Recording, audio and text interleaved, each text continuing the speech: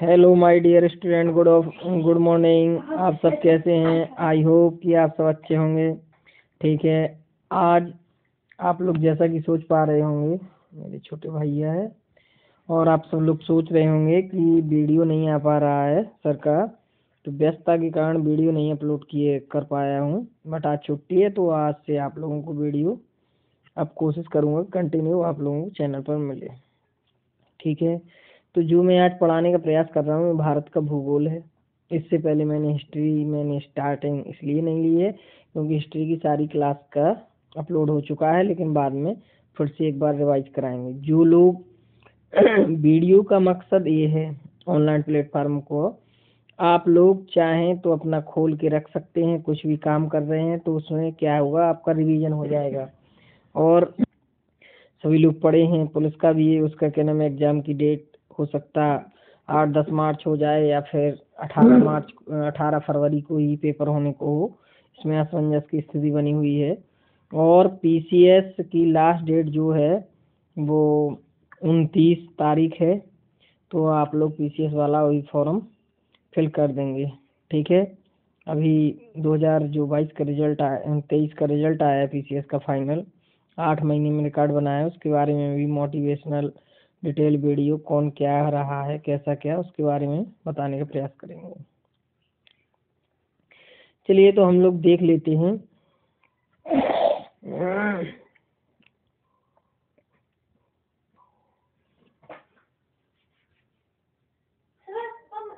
नहीं करो।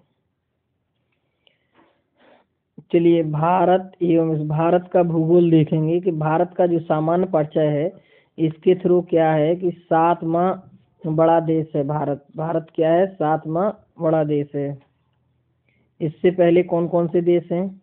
रूस है, कनाडा है, चीन, यूएसए, ब्राज़ील, ऑस्ट्रेलिया के बाद भारत। अगर जनसंख्या की बात करें तो भारत का विश्व में दूसरा स्थान है। अब कुल जन स्थल कितना है भारत में? Two point four. कुल जनसंख्या कितनी है भारत में? विश्व की सत्रह पॉइंट फाइव परसेंट है। कितनी है? जनसंख्या के अनुसार दूसरा सबसे बड़ा देश है। अब हम लोग देखेंगे कि भारत के जो दूरस्थ पॉइंट हैं, जैसे नक्शा क्या है? ऐसे ऐसे होता है। नक्शा जो हम लोग देखते हैं, उसमें ऐसे ऐसे रहेगा तो सबसे ऊपर नॉर्थ रहेगा, नीचे साउथ रहेगा, इधर ईस्ट रहेगा, इधर वेस्ट रहेगा। ठीक है? तो जो उत्तर में सबसे ऊपर क्या है नक्शा, आप लोग देखे होंगे तो ऐसे देखना पड़ता है उत्तर रख के। इंदिरा कॉल है, लद्दाख में पड़ता है, और जो नीचे है दक्षिण में, वो इंदिरा पॉइंट है। देखिए, इंदिरा कॉल और इंदिरा पॉइंट मतलब इंदिरा इंदिरा दोनों में लगा है। Indira point, Indira col, Indira point. Point मतलब छोटा सा छिद्र हो गया, पॉइंट बिंदु रख देते हैं। तो ये ग्रेट निकोबार द्वीप, क्यों हम लोग ग्रेट निकोबार द्वीप? क्योंकि नीचे तो समुद्र है ना? नीचे समुद्र है। तो दीप तो होंगे होंगे समुद्र में। ठीक है, ये हम लोग याद है पश्चिम में गौर माता गौर माता कहाँ है? गुजरात में है। ठीक है सूरज अब पूरब में क्या है? किबिथू, अरुणाचल प्रदेश। अरुणाचल प्रदेश आप नक्शे में देखेंगे तो पूर्व में पड़ता है।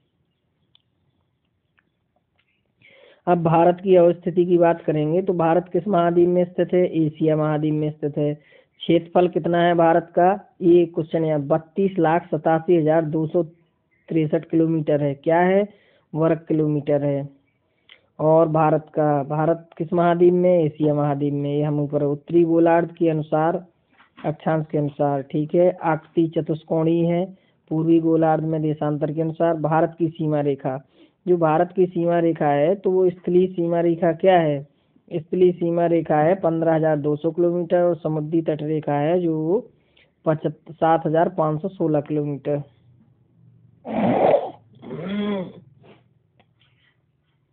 अब भारत का अक्षांशीय विस्तार है, उत्तरी अक्षांश सैंतीस डिग्री छः अंश ये सब देशांती विस्तार कर्क रेखा गुजरती है, भारत के लगभग मध्य से गुजरती है कर्क रेखा। कर्क रेखा, मकर रेखा विश्वत रेखा, ये गुजरती भारत के आठ राज्यों से। क्वेश्चन कहाँ से आता है? वो हम आप लोगों को बताने का प्रयास करेंगे कि भारत के आठ राज्यों से गुजरती है। कितने राज्यों से? आठ राज्यों से। सबसे पहले क्या है? गुजरात है, फिर राजस्थान है, मध्य प्रदेश है, छत्तीसगढ़ है, झारखंड है, पश्चिम बंगाल, त्रिपुरा, और मिजोरम। तो आप लोग क्या है? ऐसे भी याद रख सकते हैं, जिस राज्यों में बीजेपी की सरकार हो या कांग्रेस की हो, ये सब तो गुजरात है, राजस्थान है, मध्य प्रदेश है, छत्तीसगढ़ है, ठीक है? ये सब चार याद रख लें। गुजरात, राजस्थान, मध्य प्रदेश, छत्तीसगढ़ चार याद हो गए। झारखंड, रांची, धोनी याद करो। पश्चिम बंगाल, ममता बनर्जी हैं। त्रिपुरा और त्रिपुरा और, त्रिपुरा की राजधानी अगरतला है। मिजोरम, आइजोल।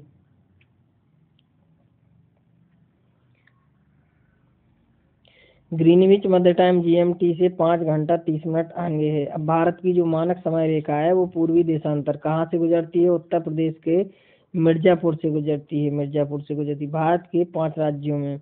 उत्तर प्रदेश, मध्य प्रदेश, छत्तीसगढ़, उड़ीसा एवं आंध्र प्रदेश से गुजरती है। गुजरात एवं अरुणाचल प्रदेश के स्थानीय समय के में अंतर लगभग दो घंटे का अंतर है। ठीक है?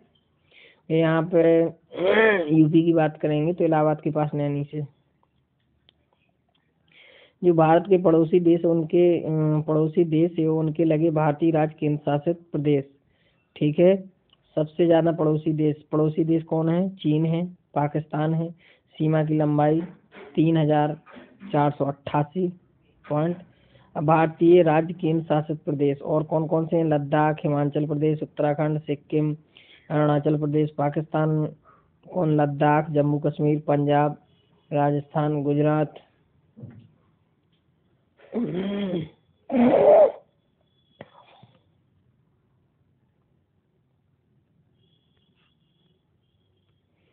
बांग्लादेश से कौन कौन सीमा लगी हुई है? पश्चिम बंगाल।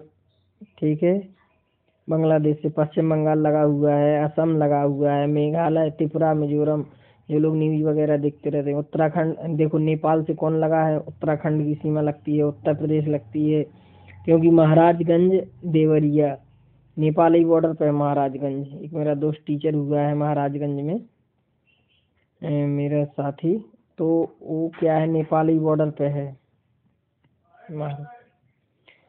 उत्तर प्रदेश, बिहार, पश्चिम बंगाल, सिक्किम। म्यांमार से किसकी सीमा लगती है? अरुणाचल प्रदेश, नागालैंड, मणिपुर, मिजोरम, भूटान, सिक्किम, पश्चिम बंगाल, असम अफगान, भारत की सबसे लंबी। देखो क्वेश्चन कहाँ से बनने के चांस हैं? कि एक क्वेश्चन आता है, इसको स्टार लगाइए कि भारत की सबसे बड़ी, सबसे लंबी स्थलीय सीमा बांग्लादेश के साथ, स्थलीय सीमा किसके साथ? बांग्लादेश के साथ, सबसे छोटी सीमा अफ़गानिस्तान के साथ। और अगर समुद्र तटीय रेखा की बात करेंगे तो गुजरात, भारत के स्थलीय सीमा से लगे सात पड़ोसी राज्य हैं। कौन कौन से हैं? सात हैं, ठीक है? अब जो रेड क्लब ए रेख सीमा रेखा आ जाती है कि रेड क्लब रेखा किससे है? भारत, पाकिस्तान से मैकमोहन रेखा। भारत एवं चीन शुरू से पढ़ के आए हैं। डूरंड रेखा क्या है? भारत एवं अफ़गानिस्तान दक्षिण में समुद्र पार भारत के दो पड़ोसी देश श्रीलंका एवं मालदीव हैं। भारत एवं श्रीलंका के बीच में स्थित पाक जल संधि मन्नार की खाड़ी बंगाल की खाड़ी के मध्य स्थित है। अब भारत का भौतिक स्वरूप देखते हैं हम लोग। भारत के तो एक तो उत्तर एवं उत्तर पूर्व में पर्वतीय क्षेत्र है। जो जैसे आप लोग गए होंगे उत्तर में, जम्मू कश्मीर। नक्शे में देखेंगे, जम्मू कश्मीर सबसे ऊपर है, पर्वत पहाड़ी है और वैष्णो देवी का पहाड़ देखो, कितने ऊँचे पर विराजमान है।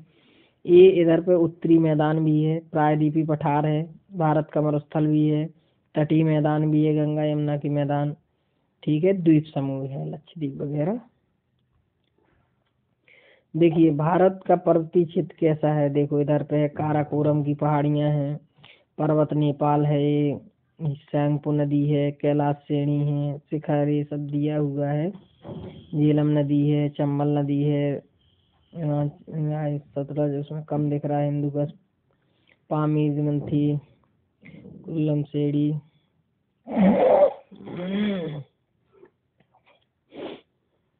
अब हिमालय की जो पर्वत श्रेणियाँ हैं। भारत के उत्तरी सीमा पर स्थित, भारत की उत्तरी सीमा चलिए, हिमालय की पर्वत श्रेणियाँ हैं जो भारत के उत्तरी सीमा पर स्थित, चौड़ाई कश्मीर में चार सौ किलोमीटर, अरुणाचल प्रदेश में एक सौ पचास किलोमीटर, नवीन बलित पर्वत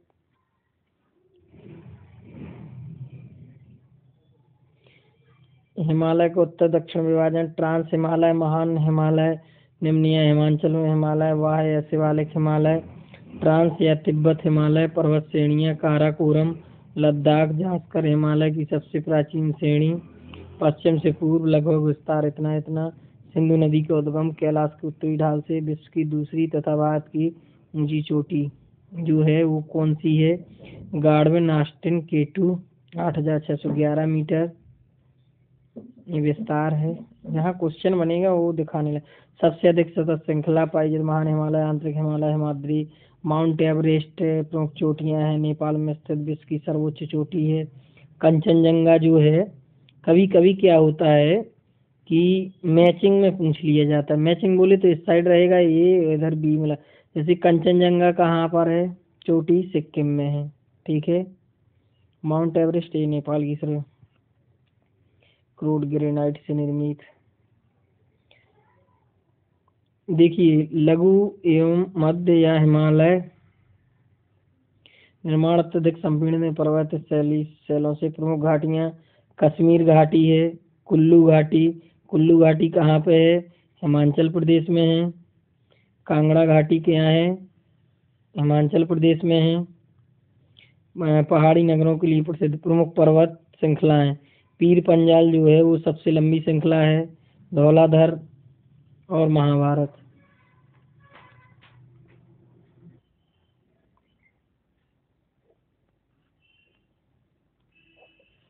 निर्माण नदियों द्वारा लगाए गए अवसादों से प्रसिद्ध धून, देहरादून, कोटलीदून, पाटलिन बाय या शिवालिक हिमालय, लघु हिमालय की प्रमुख श्रेणियाँ। पूर्वी हिमालय है। हिमालय का प्रादेशिक पश्चिम से हिमालय का प्रादेशिक पश्चिम से पूर्व है पंजाब हिमालय सिंध और सतलज कुमायूं हिमालय नेपाल हिमालय ये सारी हिमालय से क्वेश्चन है इधर से क्वेश्चन कम ही आता है। भारत की प्रमुख घाटियाँ जैसे नुब्रा मरखा ये कहाँ की हैं? ये लद्दाख की हैं और जो कुल्लू, मनाली वगैरह, ये सब हिमाचल प्रदेश, कुल्लू, कांगड़ा, चंबा, सांगला, लाहौल स्पीति, पिन वैली। एक साइलेंट वैली है, वो केरल में है। नीलोंग फूलों की घाटी। फूलों की घाटी क्या है? उत्तराखंड में है, यूथोंग क्या है? सिक्किम में, नेवेरा, पश्चिम बंगाल, दार्जिलिंग। असम, दार्जिलिंग की चाय। शांत घाटी क्या है? साइलेंट वैली भी बोलते हैं उसको। शांत घाटी की जो है, वो केरल में है। जुकू जुकू क्या है? नागालैंड में चुम्बी सिक्किम, भारत, भूटान या चीन के मिलन बिंदु पर बराक घाटी असम में अराकू, विशाखापट्टनम, हिमाचल प्रदेश, सबसे बड़ा सिकरी, छोटा सिकरी, सोना सोना पानी भारत की प्रमुख हिमनद लद्दाख, उत्तराखंड। लद्दाख क्या है? सियाचिन भारत का सबसे बड़ा हिमनद है। उत्तराखंड, देखो उत्तराखंड में कौन कौन सी नदियाँ गंगोत्री, यमुनोत्री, मिलाम, पिंडारी, सिक्किम में कौन है भारत के हिमनद? जेमू भारत के प्रमुख दर्रे। अब अगर दर्रे की बात करेंगे तो जैसे कारा लद्दाख में कौन कौन से दर्रे हैं? काराकोरम, खांदला, जोजिला और जोजिला, चौंग, चौंगला। जम्मू कश्मीर में कौन है? पीर पंजाल, बनिहाल बनिहाल एक टनल भी है। सुरंग दर्रे, बोर्जेल, सिपकीला, हिमाचल प्रदेश में। ए R O, A R O या पी सी एस में क्वेश्चन कंटिन्यू पूछे जाते हैं। सिपकीला बड़ा लाचा रोहतांग यांगची दीवान डेपसा हिमाचल माना मा, देखो उत्तराखंड में क्या है कि जैसे आए माना माना दर्रा नीतीलाख एक मुरजिला और नाथुला दर्रा। इधर बहुत कन्फ्यूज़न नाथुला दर्रा का है सिक्किम में है और ये सिपकीला दर्रा हिमाचल प्रदेश में है। इधर कन्फ्यूज़न होता है जिलेपला सिक्किम में है। बोमाडेला दिफू दिफू क्या है? अरुणाचल प्रदेश में। है बोमाडेला दिफू, सेला, यांग, याप पोंगसोन तुजू, मणिपुर में है। थाल घाट और भोर घाट ये कहाँ पे है? महाराष्ट्र में है, पश्चिमी घाट पर। ठीक है? पूर्वी घाट, पश्चिमी घाट।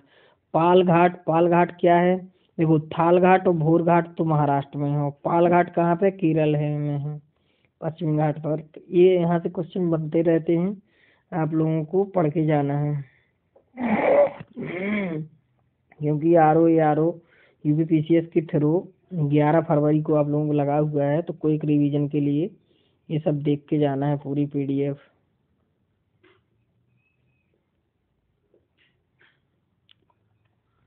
अब देखिए, भारत का उत्तरी मैदान।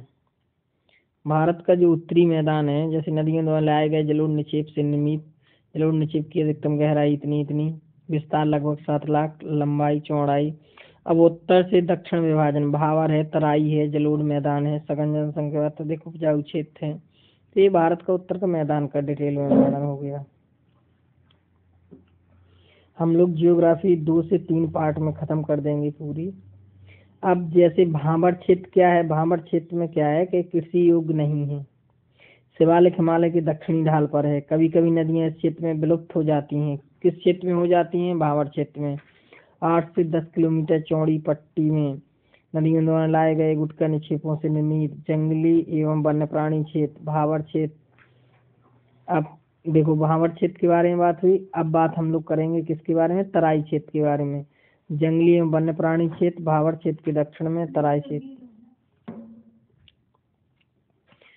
चलिए, तराई क्षेत्र की बात करेंगे। जंगल एवं वन्य प्राणी क्षेत्र, भावर क्षेत्र के दक्षिण में नम एवं दलदली क्षेत्र है। चौड़ाई दस से बीस किलोमीटर, भावर क्षेत्र में विलुप्त नदियाँ यहाँ प्रकट हो जाती हैं। देखो, यहाँ पे क्या हो रहा था? भावर क्षेत्र में की खास बात थी कि नदियाँ कहीं कहीं विलुप्त हो जाती थी। जो तराई होता है, उसमें नदियाँ फिर से प्रकट हो जाती हैं। अब जो जलोढ़ मैदान है, जलोढ़ मैदान के अंतर्गत दो चीज़ें हैं। कौन कौन सी? एक होता है बांगर और एक होता है खादर। अब बांगर और खादर क्या कहलाते हैं? पुराने जलोढ़ से जो निर्मित होती है, उसको बांगर बोलते हैं। बाढ़ वाले मैदान से दूर स्थित रहता है।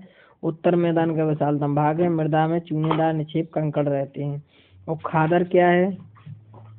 नवीन जलोढ़ से। देखो, एक चीज़ मैं आपको यहाँ पे एक क्लियर कर देता हूँ कि जो खादर है, ये उपजाऊ ज़मीन है। नवीन जलोढ़ से निर्मित बाढ़ वाले मैदान में स्थित प्रतिवर्ष पुनः निर्माण अत्यधिक उपजाऊ। देखो, यहाँ भी क्वेश्चन आ गया कि जो खादर है, वो अत्यधिक उपजाऊ है।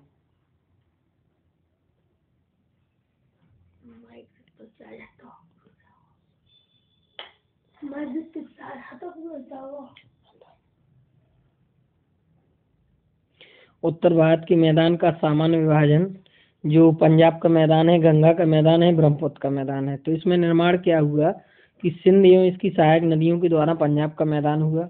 गंगा का मैदान, गंगा इसकी सहायक नदियों के द्वारा हुआ। ब्रह्मपुत्र एवं इसकी सहायक नदियों के द्वारा हुआ निर्माण। ठीक है?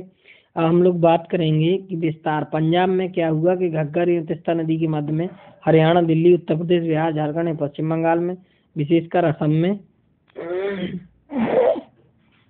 अब हम लोग बात करेंगे प्रायद्वीपी पठार की। प्रायद्वीपी पठार का विभाजन क्या है? उत्तर, पश्चिम में दिल्ली, कटक, पूरब में राजमहल पहाड़ियाँ।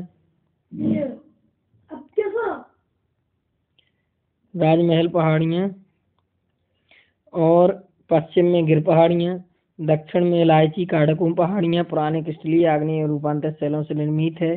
ढलान पश्चिम से पूरब की ओर, विभाजन, ये है त्रिकोणी श्रृंखला। अब मालवा का पठार की जब बात करेंगे, जैसे मालवा तो वैसे तो गुज यहाँ पे सॉरी मालवा का पठार।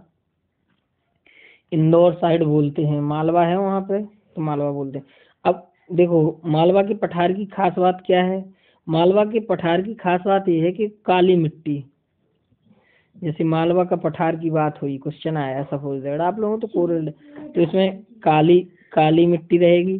पश्चिम में अरावली, पूरब में बुंदेलखंड और लावा प्रवाह से निर्मित समग्र ढाल उत्तर की ओर दिव्य दक्षिण में बिंद श्रेणी।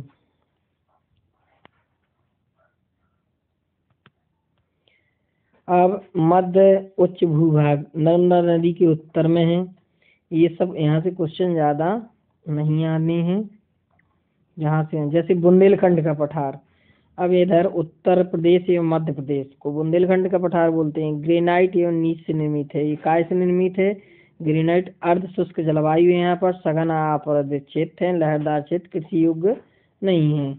अब बघेलखंड रीवा सतना उत्तर में, सोन नदी में, अकाल श्रेणी के उत्तर में ग्रेनाइट चूना पत्थर बलुआ पत्थर से निर्मित है। उत्तर प्रदेश, झांसी एवं मध्य प्रदेश में। कौन है? बघेलखंड का पठार।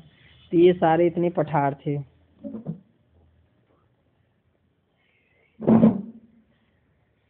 छोटा नागपुर का पठार। छोटा नागपुर के पठार में क्या विशेषताएँ हैं?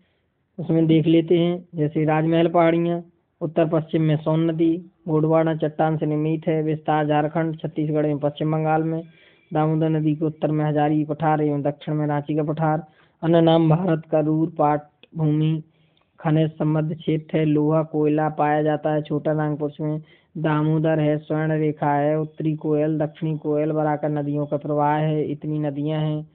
सोन नदी है, छोटा नागपुर पठार में।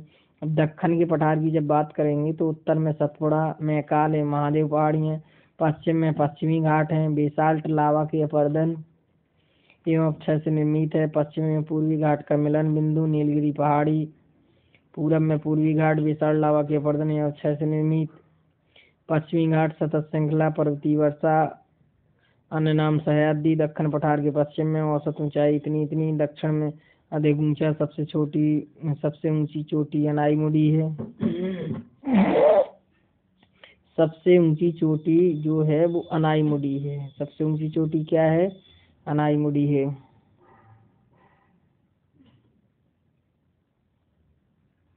सबसे ऊँची चोटी अनाई मुड़ी है, छब्बीस सौ पंचानवे मीटर। अनामलाई पहाड़ी में सबसे, दूसरी सबसे ऊँची चोटी डोडो बेटा है। जो कहाँ पे नीलगिरी पहाड़ी में अधिकांश प्रायद्वीपीय नदियों का उद्गम स्थल है, पश्चिमी घाट में प्रमुख दर्रे। देखो, पश्चिमी घाट ज़्यादा महत्वपूर्ण है। क्यों महत्वपूर्ण है? क्योंकि यहाँ पे सतत श्रृंखला है। सतत श्रृंखला है, पर्वतीय वर्षा है, अन्य नाम सहयाद्री के नाम से भी जाना जाता है पश्चिमी घाट को। दक्षिण पठार के पश्चिम में औसत ऊंचाई 1500 मीटर, पूर्वी घाट से अधिक ऊँचा। दक्षिण में अधिक ऊँचा, सबसे ऊँची चोटी अनाई मुडी, छब्बीस सौ पंचानवे मीटर अन्नामलाई पहाड़ी में, दूसरी सबसे ऊँची चोटी डोडो बेटा देखो, सबसे ऊँची चोटी पश्चिमी घाट में कौन है? अनाई मुडी। और दूसरी डोडो बेटा अधिकांश प्रायद्वीपीय नदियों का उद्गम स्थल है। प्रमुख दर्रे, जो पश्चिमी घाट है, प्रमुख दर्रे कौन से हैं? थाल घाट और भोर घाट, ये महाराष्ट्र में है। ठीक है? और अगर पालघाट की बात करेंगे तो केरल कभी कभी क्वेश्चन में फंसाने के लिए दिया जाता है कि महाराष्ट्र में या पश्चिमी घाट में कौन दर्रे हैं? दर्रे तीनों हैं। अगर प्रॉपर बात करेंगे कि पालघाट कहाँ पे है तो केरल में है और थालघाट और भोर घाट महाराष्ट्र में। ये आप लोगों को रट जाना चाहिए।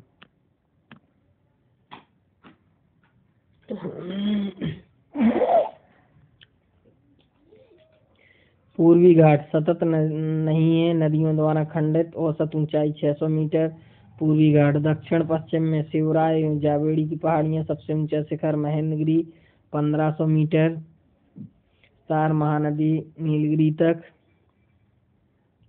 उत्तर पूर्वी पठार पठार।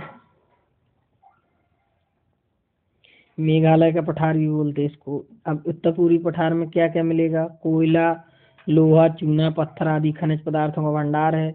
अन्य नाम एक लोक पठार एवं उत्तर कचार, पहाड़ी प्रायद्वीप पठार का एक विस्तारित भाग, पश्चिम बंगाल की मालदा गैप, राजमहल, पहाड़ी मेघालय पठार के बीच के कारण अलग हुआ। अधिकतर वर्षा दक्षिण पश्चिम मानसून से होती है। जो उत्तर पूर्वी पठार है, मेघालय का पठार, उसकी खास बात ये है कि जो इसमें वर्षा होती है, वो अधिकतर वर्षा दक्षिण पश्चिम मानसून से होती है। किससे होती है? दक्षिण पश्चिम मानसून से और मेघालय की जो जनजातियाँ हैं, जयंती, जो, नहीं नहीं सॉरी जयंती पहाड़ियाँ गारो, खासी और जयंतिया पहाड़ियाँ हैं। वो कैसे हैं?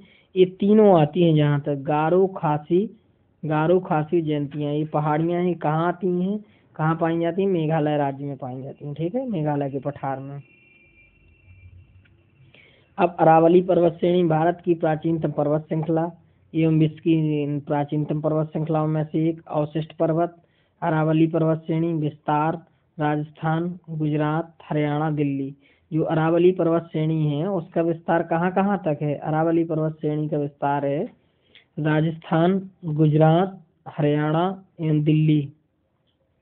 श्रेष्ठ पर्वत। सबसे ऊँची चोड़ी जो चोटी है, जो अरावली की, वो गुरु शिखर है। ये कहाँ पे है? राजस्थान में। सत्रह मीटर ऊँची है।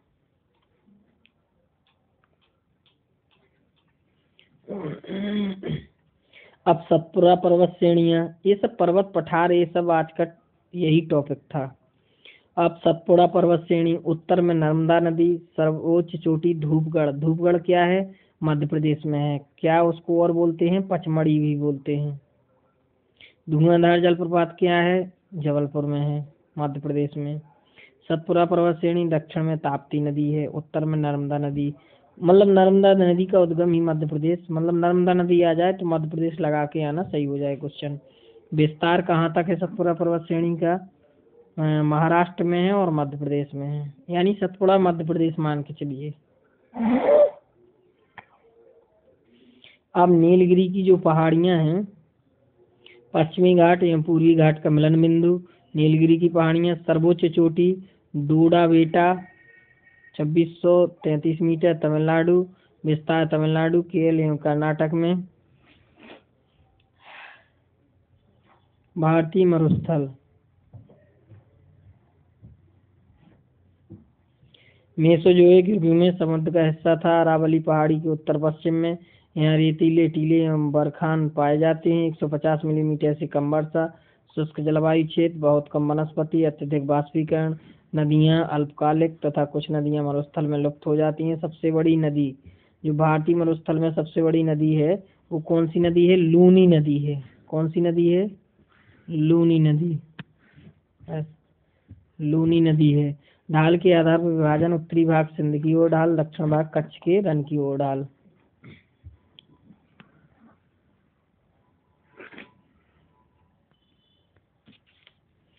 अब पश्चिमी तटीय मैदान की बात करेंगे तो विभाजन क्या है? कच्छ एवं काठियावाड़। काठियावाड़ कहाँ पे है? काठियावाड़ गुजरात में है। कोंकण तट। ऐसे क्वेश्चन आ जाता है। कोंकण तट। कोंकण तट किसको बोलते हैं? महाराष्ट्र को। कोंकण तट की बात करेंगे तो महाराष्ट्र। कच्छ की बात करेंगे तो गुजरात। और गोवा तट है। पश्चिमी तट। ये पश्चिमी तटीय मैदान है। गोवा तट, मालाबार तट। मालाबार तट कहाँ है? केरल पे। इस पे भी कई बार क्वेश्चन बन चुके हैं। संकीर्ण पट्टी, मध्य में संकीर्ण, उत्तर, दक्षिण में चौड़ा है। विस्तार गुजरात तट से केरल तट तक। जो गुजरात तट से केरल तट तक गया है, उसको क्या बोलते हैं? पश्चिमी तटीय मैदान बोलते हैं।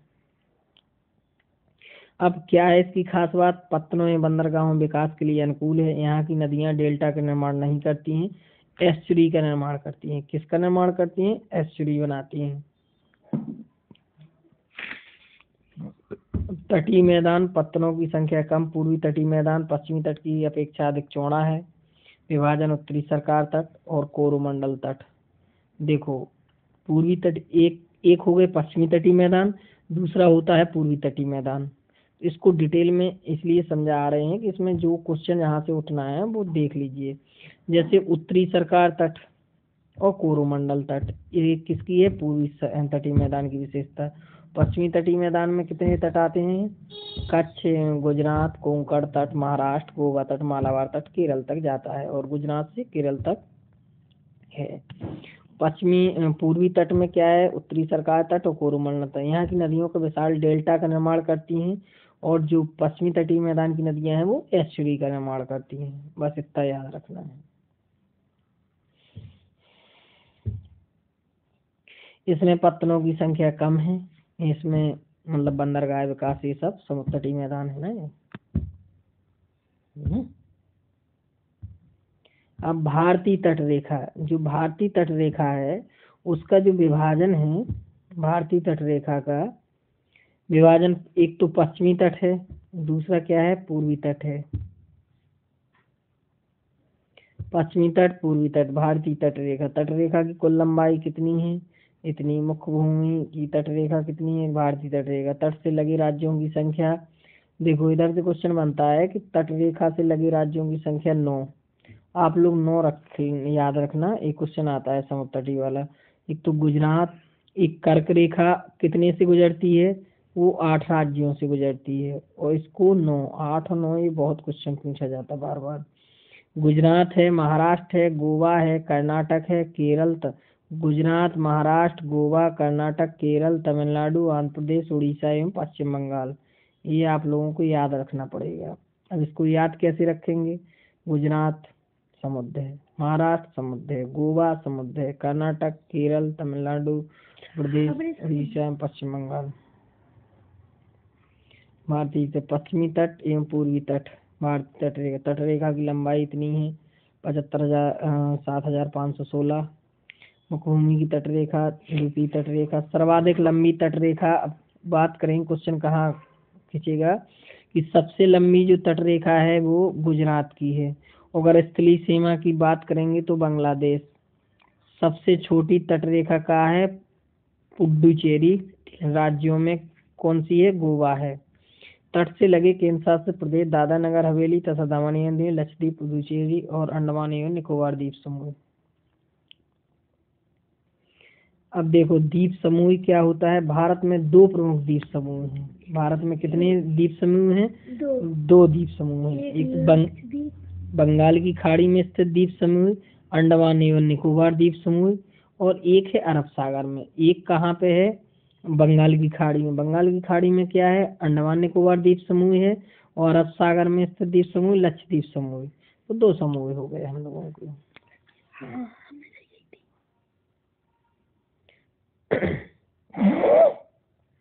अब हम लोग देखेंगे इसकी कि लक्षद्वीप समूह, अब लक्षद्वीप समूह की अवस्थिति। जैसे केरल तट से 280 से 480 किलोमीटर दूर अरब सागर में, पूर्व नाम लकाद्वीप मिनीकोआ अमीनी द्वीप भी बोलते हैं। विभाजन उन्नीस सबसे उत्तर में, लवली मिनीकोआ सबसे दक्षिण में। वर्तमान नाम लक्षद्वीप है। प्रवाल निक्षेप से निर्मित है। द्वीपों की संख्या लक्षद्वीप में कितनी है? छत्तीस है। राजधानी कौरती है। सबसे बड़ा द्वीप है एडरोट। आठ डिग्री चैनल मिनिको व मालदीप के मध्य। नौ डिग्री चैनल क्या है मिनिको? लकादीप के मध्य।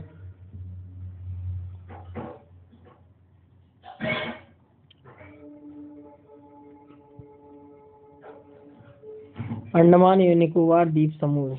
ठीक है? अब जो अंडमान एवं निकोबार द्वीप समूह में है, उसमें द्वीपों की संख्या पता है कितनी है? द्वीपों की संख्या है पाँच सौ पचास। अराय, अराकान युमा श्रृंखला की दक्षिणी विस्तार है। अंडमान का विभाजन उत्तरी अंडमान, मध्य, दक्षिण लिटिल, दक्षिण अंडमान, लिटिल अंडमान, दस degree channel, little Andaman, Car Nicobar के बीच, निकोबार द्वीप समूह के विभाजन, कार निकोबार, ग्रेट निकोबार, ज्वालामुखी द्वीप अब देखिए इसमें कितने हैं? अंडमान निकोबार द्वीप समूह ज्वालामुखी द्वीप कौन है? एक बैरन द्वीप जो क्या है? सक्रिय है। एक सक्रिय नरकोंडम द्वीप समूह शांत है। बलुआ पत्थर, चूना पत्थर, सेल्सनी में निकोबार द्वीप समूह की सर्वोच्च चोटी थूलियर है। राजधानी पोर्ट विलियर, दक्षिण सर्वोच्च चोटी सेंडल पीक, सात सौ बत्तीस मीटर उत्तरी अंडमान में। अब बात करेंगे अपवाह तंत्र की। अपवाह को इंग्लिश में ड्रेनेज बोलते हैं। निश्चित वाहिकाओं, नदी, नाले आदि के माध्यम से हो रहे जल प्रवाह को अपवाह कहते हैं। अपवाह तंत्र क्या है? वाहिकाओं के जाल को अपवाह तंत्र कहा जाता है। भारतीय अपवाह तंत्र। हिमालयी अपवाह तंत्र, प्रायद्वीपीय अपवाह तंत्र, सिंधु नदी तंत्र, गंगा नदी तंत्र, ब्रह्मपुत्र नदी तंत्र। ये अपवाह तंत्र हैं। तीन नदियाँ इसमें, सिंधु, गंगा, ब्रह्मपुत्र। ठीक है? ब्रह्मपुत्र को कहीं कहीं पद्मा बोला जाता है, गंगा, ये सब। असम डिब्रूगढ़ आप सिंधु नदी तंत्र देखेंगे। देखो, तीन चीज़ें थी ना इसमें कि भारतीय अफवाह तंत्र कितने प्रकार के होते हैं, हिमालयी अफवाह तंत्र प्रायद्वीपी अब हिमालय अफवाह जो हिमालयी अफवाह तंत्र हैं, उसको भी तीन पार्ट में डिवाइड किया है। सिंधु नदी तंत्र, गंगा नदी तंत्र, ब्रह्मपुत्र नदी तंत्र। आप सिंधु नदी तंत्र के अंतर्गत उद्गम कैलाश पर्वत श्रेणी, बोखुर चू के निकट एक हिमनत से कुल लंबाई इतनी है। भारत में ग्यारह सौ चौदह किलोमीटर, यह भारत में हिमालयी नदियों में सबसे पश्चिमी नदी है। तिब्बत में इसका नाम सिंगी, खम्बान और शेरमुख बोलते हैं। दाएँ तट की सहायक नदियाँ गिनगिल सयुग काबुल, बाएँ तट की सहायक पंचनत सतलज, ब्यास, रावी चिनाब एक कराची के पूर्व में अरब सागर में गिरती है। अब देखो, झेलम नदी, एक झेलम एक्सप्रेस, झेलम नदी, ये सब क्या है? ये सब जम्मू कश्मीर साइड है, झेलम नदी। झेलम नदी प्रमुख तटीय शहर श्रीनगर। देखो, श्रीनगर कहाँ है? जम्मू कश्मीर। श्रीनगर में क्या है? वो कश्मीर में क्या है? डल झील है। ठीक है, श्रीनगर आगे है। जम्मू, झेलम नदी, ये जैसे जो लोग गए होंगे जम्मू कश्मीर तो एक झेलम एक्सप्रेस चलती है। और इंदौर से वो झेलम एक्सप्रेस चलेगी, वो भी वहीं तक जाएगी जम्मू कश्मीर तक। तो झेलम नदी आप लोग नहीं भूल पाएँगे। प्रमुख तटीय शहर श्रीनगर। श्रीनगर जैसी याद आया तुरंत झेलम नदी याद आ गई। चिनाब नदी से इसका संगम हुआ है। सहायक नदी है जो झेलम नदी की। वो किशनगंगा है। उद्गम स्थल पीर पंजाल श्रेणी की बेरी नांग झरने से। और यहाँ पे शेषनांग झील भी है जम्मू कश्मीर में। देखो कितना टू द पॉइंट कनेक्टिविटी से बढ़िया से मैटर बनाया गया है। सिंधु की सबसे बड़ी सहायक नदी, चिनाब नदी, भारत में लंबाई ग्यारह सौ अस्सी किलोमीटर, अन्य नाम चंद्रभांगा, उद्गम हिमाचल प्रदेश में चंद्रा और भागा के मिलन से चिनाब नदी और रावी नदी। उद्गम रोहतांग दर्रे के पश्चिम से चिनाब नदी से संगम हिमाचल प्रदेश के चंबा घाटी में बहती है। हिमाचल प्रदेश की कहाँ बहती है रावी नदी? चंबा घाटी में, रावी। तो ये थी प्रमुख नदियाँ जैसे रावी नदी चिनाब नदी और झेलम नदी। ये सिंधु नदी तंत्र था। अब सिंधु नदी के तंत्र के बाद आएगा गंगा नदी तंत्र फिर ब्रह्मपुत्र। चलिए देख लेते हैं। अभी पहले बंद कर लो।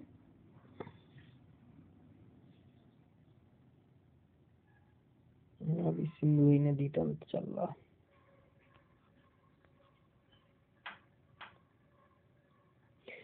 देखो, जो ब्यास नदी है, वो हरि के पास सतलज के संगम से कुल्लू घाटी में बहती है। कुल्लू घाटी कहाँ है? हिमाचल प्रदेश में है।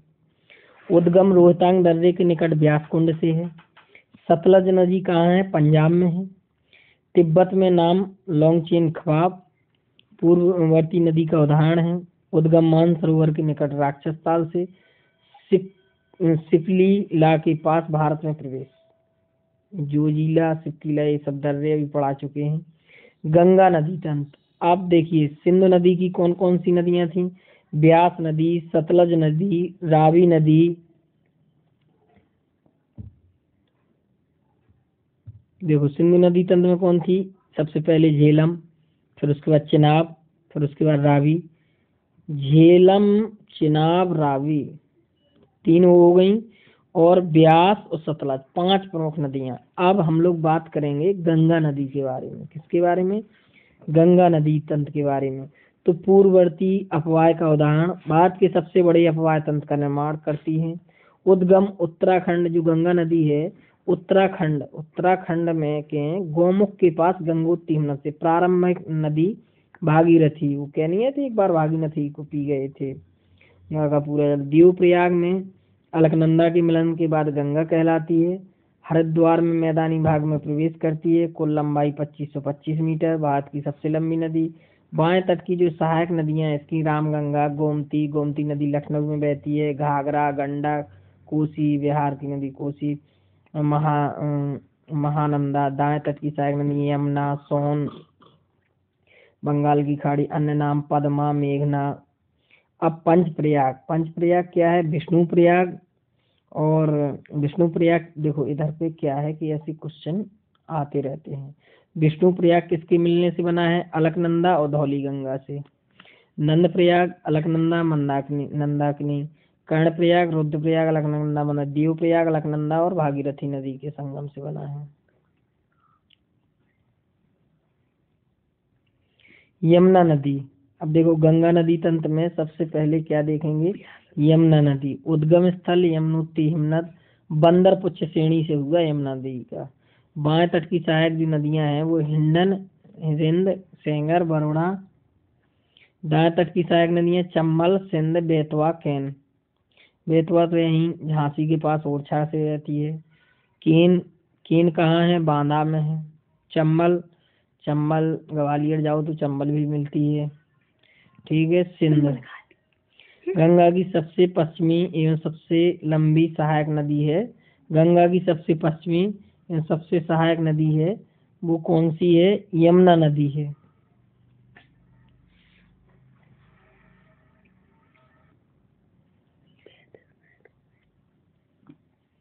उद्गम स्थल जाना पाओ पहाड़ी बिंद श्रेणी चंबल नदी, उत्तर प्रदेश के इटावा में यमुना में विलीन हो जाती है। ठीक है, इटावा में चंबल नदी खड्डों का निर्माण करती है। गंडक नदी, उद्गम स्थल, नेपाल, हिमालय, पटना के निकट सोनपुर में, गंगा में मिलन। और घाघरा नदी घाघरा नदी क्या है? माम चाचुंगो हिमनत से निकलती है। बिहार की छपरा में गंगा से संगम होता है। सहायक नदी तिला, सेती, बेरी और शारदा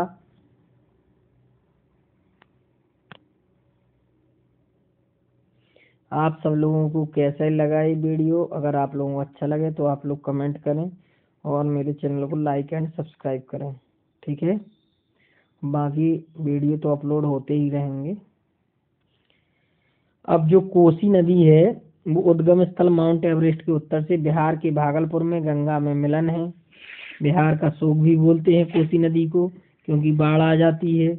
पूर्ववर्ती नदी का उदाहरण है, मार्ग बदलने के लिए प्रसिद्ध है कोसी नदी। इतने सारे कोसी की विशेषताएँ थी। अब रामगंगा नदी की, कन्नौज के निकट, कन्नौज के निकट गंगा में मिलन। उद्गम स्थल गढ़वाओं की पहाड़ी उत्तर प्रदेश के नजीबाबाद में मैदान में प्रवेश। उद्गम स्थल छोटा नागपुर पठार, दामोदर नदी मुख्य सहायक नदी, बराकर नदी, भ्रंश घाटी में बहती है। इसकी विशेषता क्या है कि जो दामोदर नदी है, वो भ्रंश घाटी में बहती है। हुगली में मिलन, बंगाल का शोक भी बोलते हैं। कोसी नदी को बिहार का शोक बोलते हैं, दामोदर नदी को किसका शोक बोलते हैं? बंगाल का शोक बोलते हैं। हुगली नदी में मिलन शारदा सरयू नदी। शारदा सहायक परियोजना होती है, शारदा नहर परियोजना। जैसे उद्गम स्थल मिलान हिमला, नेपाल, हिमालय, शारदा और सरयू नदी। अन्य नाम काली चाय भारत, नेपाल सीमा पर बहती है। नेपाल में इसका नाम गौरी गंगा के नाम से जानते हैं।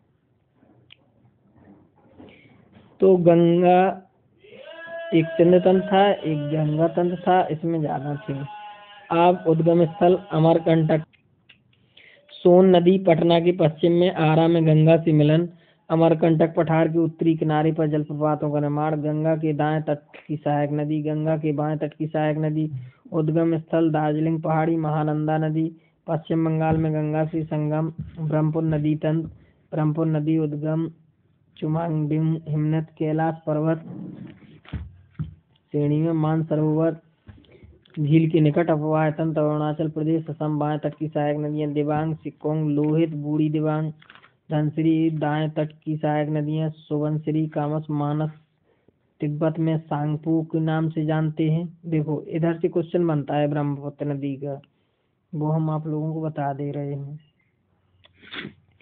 कि अन्य नाम तिब्बत तिब्बत में ब्रह्मपुत्र नदी को सांगपो के नाम से जानते हैं। अरुणाचल प्रदेश में क्या है? दिहांग दिहांग, दिव्यांग और सियांग, असम में ब्रह्मपुत्र बोलते हैं और बांग्लादेश में जमुना बोलते हैं। ब्रह्मपुत्र नदी को इतने सारे नाम हैं। ब्रह्मपुत्र नदी बांग्लादेश में पद्मा गंगा से मिलती है। गंगा एवं ब्रह्मपुत्र मिलकर विश्व के सबसे बड़े डेल्टा, देखो, गंगा और ब्रह्मपुत्र। गंगा नदी तंत्र और गंगा नदी और ब्रह्मपुत्र मिलकर विश्व के सबसे बड़े डेल्टा सुंदरवन का निर्माण करती हैं। अब सुबनश्री नदी उद्गम तिब्बत अफवाह क्षेत्र अरुणाचल प्रदेश असम पूर्ववर्ती नदी। तो ये सारे क्वेश्चन नदी तंत्र से थे। प्रायदीपी नदी तंत्र प्रायदीपी नदी तंत्र आ गए सिंध, गंगा प्रायदीपी प्रायदीपी नदियाँ बंगाल की खाड़ी में गिरने वाली और अरब सागर में गिरने वाली। जो प्रमुख नदी हैं, बंगाल की खाड़ी में गिरने वाली कौन कौन सी है? महानदी, गोदावरी, कृष्णा, कावेरी। और अरब सागर में नर्मदा ताप्ती माही अरब सागर में गिरती हैं। और ये क्या है? देखो महानदी गोदावरी कृष्णा कावेरी ये क्या करती हैं? डेल्टा का निर्माण करती हैं।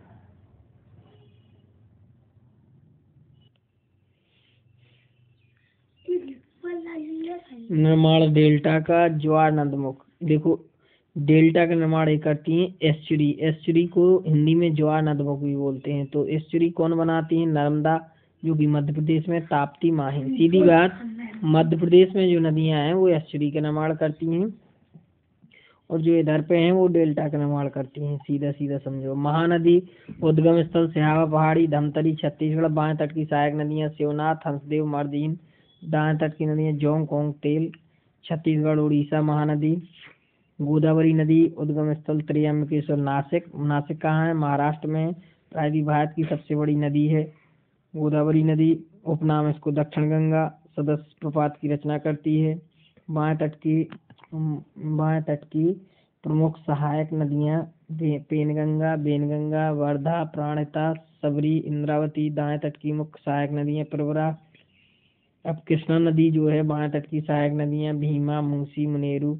दाएँ तट की सहायक नदियाँ कोयना घाट प्रवाह मालप्रवाह तुगंदा उद्गम स्थल, पश्चिमी घाट, महाबलेश्वर, महाराष्ट्र। कावेरी नदी है, उद्गम स्थल, ब्रह्मपुत्र पहाड़ियाँ, कोगाडू जिला कर्नाटक अफवाह क्षेत्र, केरल, कर्नाटक, तमिलनाडु। बाएँ तट की सहायक नदियाँ हेमवती, सिम्पा आकाती जलप्रपात, शिव समुद्रम। दाएँ तट की सहायक नदियाँ काबिनी भवानी, अमरावती।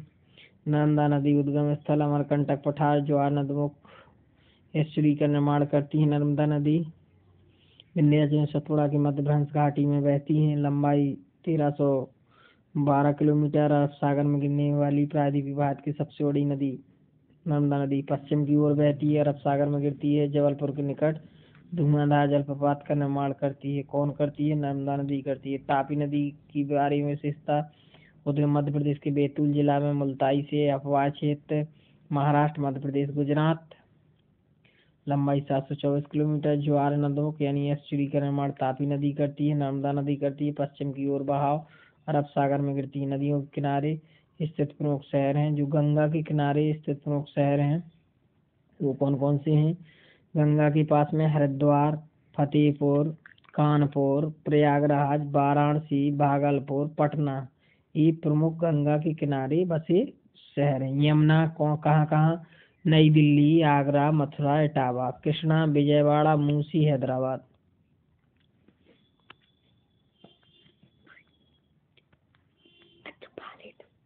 गोदावरी कहाँ कहाँ है? नासिक, नादेड़, राजमुंदरी। गोदावरी, रामगंगा, बरेली और राप्ती कहाँ पे है? राप्ती सागर एक्सप्रेस भी चलती है। राप्ती क्या है? गोरखपुर में सरयू अयोध्या, गोमती, लखनऊ सिंधले झेलम श्रीनगर सतलज लुधियाना साबरमती अहमदाबाद गांधीनगर ताप्ती सूरत बैतूल स्वर्ण रेखा जमशेदपुर महानदी कटक चम्बल कोटा ब्रह्मपुत्र गुवाहाटी डिब्रूगढ़।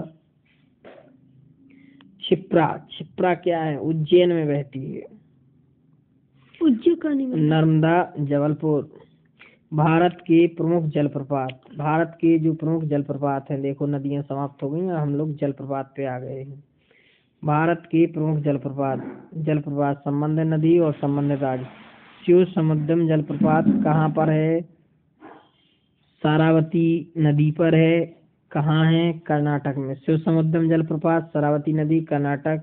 धुआंधार जलप्रपात है, वो नर्मदा नदी पर है। और कहाँ है? मध्य प्रदेश। कहाँ है? जबलपुर में। धुआंधार। दूध सागर मांडवी, गोवा एवं कर्नाटक की सीमा पर। कपिलधारा, दुग्धधारा, नर्मदा, मध्य प्रदेश। चूलिया चम्बल राजस्थान, हुंडरू, स्वर्णरेखा, झारखंड, रांची चित्रकूट चित्रकूट जलप्रपात कहाँ पर है? इंद्रावती, छत्तीसगढ़ में है बस्तर। ये चित्रकूट कामतानाथ वाला अलग है। ये आरू ये आरू में पूछा जा चुका है कि चित्रकूट जलप्रपात इंद्रावती नदी पर है और कहाँ पर है संबंध राज्य छत्तीसगढ़, बस्तर। जोग्यगढ़, सोपा। ये भी क्वेश्चन बहुत बार पूछा गया है जोग्यगढ़ सोपा, सरावती नदी कर्नाटक, एक बार ही फिर देखेंगे। शिव समुद्रम सरावती कर्नाटक, धुआंधार, ये सब लोगों को याद है नर्मदा जबलपुर, मध्य प्रदेश में है। दूध सागर, मांडवी, कपिलधारा दुग्धारा नर्मदा मध्य प्रदेश, चूलिया, चंबल, राजस्थान, हुंडरू, झारखंड, चित्रकूट, इंद्रावती, जोगढ़, सोपा, सरावती, कर्नाटक, कुचिकल कुचिकल जलप्रपात, कर्नाटक, सिमोहा, बाराही नदी पर सबसे ऊँचा जलप्रपात है कुचिकल।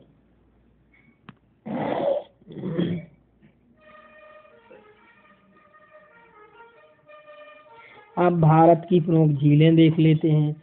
जो भारत की प्रमुख झीलें हैं, संबंधित राज्य है, जैसे बेमनाड झील।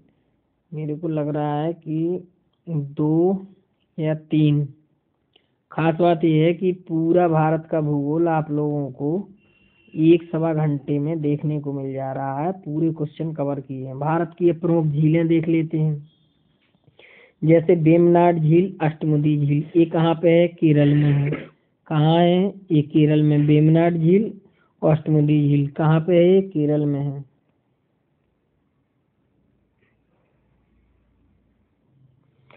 चिल्का झील चिल्का झील कहाँ पर है? उड़ीसा में है। बूलर झील, जम्मू कश्मीर, पुष्कर राजस्थान, अजमेर सांवर झील, राजस्थान, लोकटक झील जो है, वो मणिपुर में है।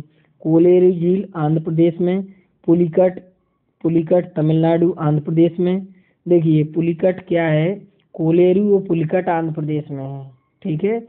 और जो पुलिकट है, वो तमिलनाडु में भी पेरियार नाम से केरल चिल्का झील, उड़ीसा। डिडवाना, राजस्थान। अब देखिए, इधर देखते हैं हम लोग बहु बहुउद्देशीय नदी घाटी परियोजना। सरदार सरोवर परियोजना कहाँ पे है? नर्मदा नदी पर है। इसकी स्थिति कहाँ है? ये गुजरात में अवस्थित है। भाखड़ा नांगल परियोजना, भाखड़ा नांगल परियोजना सतलज, हिमाचल प्रदेश। शिव समुद्रम जल विद्युत परियोजना, कावेरी कर्नाटक। नागार्जुन सागर परियोजना, कृष्णा आंध्र प्रदेश। हीराकुंड परियोजना, महानदी उड़ीसा। इदुक्की इदुक्की कहाँ है? पेरियार, केरल में। म्यूराक्षी परियोजना, पश्चिम बंगाल। माता टीला परियोजना, बेतवा नदी। उत्तर प्रदेश पोचमपात परियोजना, गोदावरी, तेलंगाना, रेहंद। उत्तर प्रदेश में है, रेहंद नदी पर।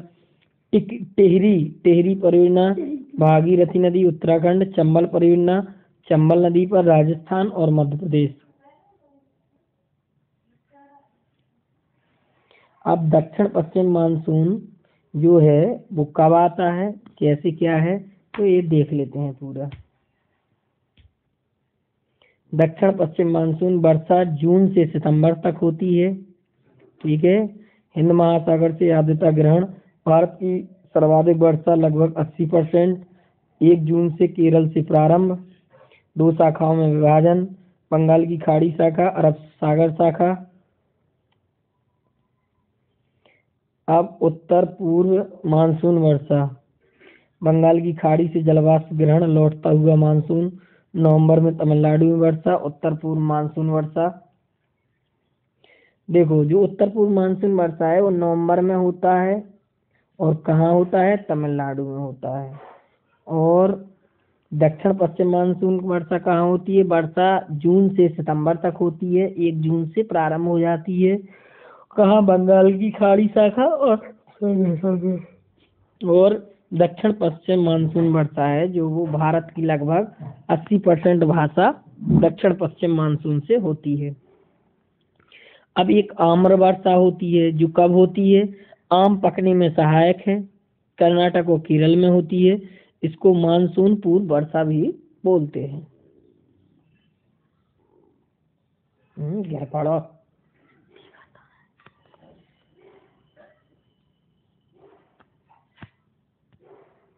अब शीतकालीन वर्षा शीतकालीन वर्षा क्या है? भूमध्य सागरी पश्चिमी विक्षोभ के कारण होती है, उत्तर पश्चिम भारत में होती है बैसाख महीने, काल वैसाखी बैसाख महीने में असम में पश्चिम बंगाल में चलने वाली वर्षा एक पवन है। काल वैसाखी असम में से बारदोली छीड़ा कहा जाता है और ये किसके लिए फ़ायदा होती है? चाय पटसन और चावल के लिए। चाय कहाँ होती है? दार्जिलिंग, ये असम है। पटसन, चावल, पश्चिम बंगाल, ये सब के लिए लाभदायक है। ठीक है? काल वैसाखी, पंजाब में भी। शुष्क गर्म और पीड़ादायक पवन, लू। लू को क्या बोलते हैं? शुष्क बोलते हैं गर्म, जो गर्मियों में लपट चलती है, उसको लू बोलते हैं। दिल्ली व पटना के बीच तीव्रता इसकी अधिक होती है। वहाँ पे ज़्यादा गर्मी पड़ती है, लू चलती है। उत्तर मैदान में पंजाब से बिहार तक चलने वाली पवन को लू कहते हैं। अब फूलों वाली बौछार केरल के निकटवर्ती कहवा उत्पादन क्षेत्र में, जो कहवा उत्पादन क्षेत्र है, उसमें केरल के निकट होती है। कहवा के फूल खिलने में सहायक है फूलों वाली बौछार जो कितनी वर्षा की अब बात करेंगे हम लोग काली मिट्टी की बात करेंगे। देखिए, जो काली मिट्टी है, वो उसके बारे में क्या क्या हो सकता है? पहले तो हम लोग ये समझेंगे कि जो काली मिट्टी है, उसके अन्य नाम क्या हैं? एक तो क्या है रेंगोर बोलते हैं काली मिट्टी को। क्या बोलते हैं रेंगोर? दूसरा बोलते हैं कपास की मिट्टी। कपास यानी रुई। और ट्रॉपिकल चेनोचम बेसाल्ट लावा, अब इसका निर्माण कैसे होता है काली मिट्टी का? बेसाल्ट लावा के अक्षय एवं अपर्दन से होता है। अधिकता क्या है? लोहा, चूना, कैल्शियम, पोटास, एल्युमिनियम एवं मैग्नीशियम कार्बोनेट की। अब काली मिट्टी में कमी किस चीज़ की होती है? नाइट्रोजन की कमी होती है। फास्फोरस एवं जैविक पदार्थों की कमी होती है। काली मिट्टी। स्वतः स्वतः जुताई वाली मिट्टी है। मतलब क्या इसमें दरारें पाई जाती हैं काली मिट्टी में? तो इसको जुताई वाली मिट्टी भी बोलते हैं। क्षेत्र कौन कौन से हैं काली मिट्टी के? एक तो महाराष्ट्र में पाई जाती है, मध्य प्रदेश में पाई जाती है, गुजरात में पाई जाती है, आंध्र प्रदेश में पाई जाती है और कर्नाटक में पाई जाती है। अब सबसे देखो, अब काली मिट्टी के बारे में बात हुई। अब बात करेंगे हम लोग लेटेराइट मिट्टी के बारे में बात। तो लेटेराइट मिट्टी की क्या विशेषताएँ हैं कि इसमें कम उर्वरता होती है। क्या होती है? कम उर्वरता। और जो निर्माण होता है, वो उष्ण कटबंधी वर्षा के कारण निछालन से होता है। अधिकता क्या होती है इसमें? उसमें कमी किसकी होती थी? नाइट्रोजन की, फास्फोरस की, काली मिट्टी में। अब इसमें कमी क्या है? इसमें भी नाइट्रोजन की, फास्फोरस एवं कैल्शियम जैव पदार्थ की बट इसमें अधिकता किसकी होती है? आयरन, लोहा, लोहे ऑक्साइड की एवं एल्यूमिनियम ऑक्साइड की कमी होती है। क्षेत्र कौन कौन से हैं? उसका कौन क्षेत्र था? महाराष्ट्र थे काली मिट्टी के, मध्य प्रदेश था, मध्य प्रदेश, महाराष्ट्र, गुजरात, आंध्र प्रदेश, कर्नाटक। इस लेटेराइट मिट्टी कहाँ कहाँ पाई जाती है? केरल, कर्नाटक, तमिलनाडु, उड़ीसा, मध्य प्रदेश, असम। जलोड या दोमट जलोड या दोमट मिट्टी, ठीक है? इसमें क्या होता है कि नदियों द्वारा अवसाद से इसका निर्माण होता है। जो नदियों द्वारा बहकर लाई जाती है, उसको जलोढ़ या दोमट मिट्टी बोलते हैं।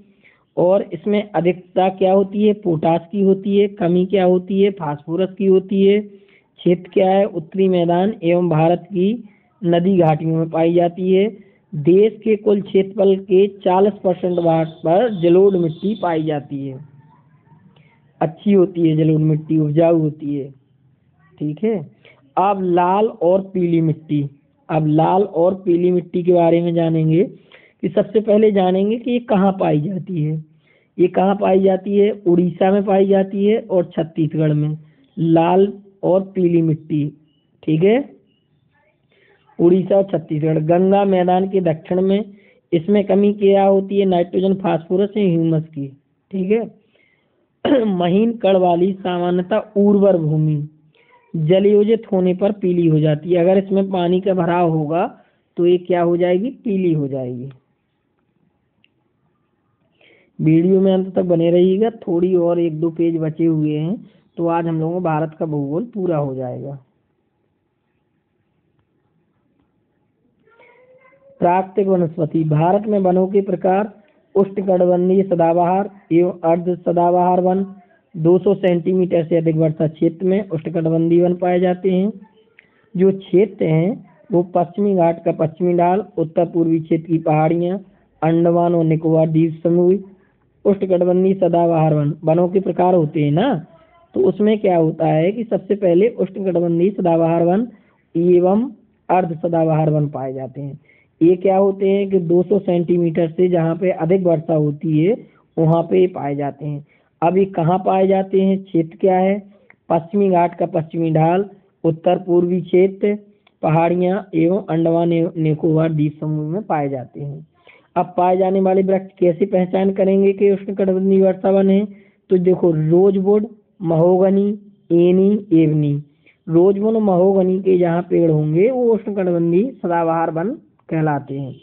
इनकी एक और विशेषता है कि वर्ष भर हरे भरे दिखाई देते हैं। यानी जब भी आप देखेंगे तो ये वर्षा क्योंकि वर्षा ज़्यादा होती है तो ये हरे दिखाई देंगे हरे भरे अब ये उष्णकटिबंधीय सदाबहार वन, अब उष्णकटिबंधीय पर्णपाती वन। पर्णपाती वन को एक नाम और दिया गया है कि मानसून वन, मानसूनी वन मानसूनी वन। अब इधर पे कितनी वर्षा होती है? सत्तर से दो सौ सेंटीमीटर। इधर पे क्या था कि 200 सेंटीमीटर से अधिक था। अब जो पर्णपाती वन है, वो कितने प्रकार के होते हैं? दो प्रकार के होते हैं।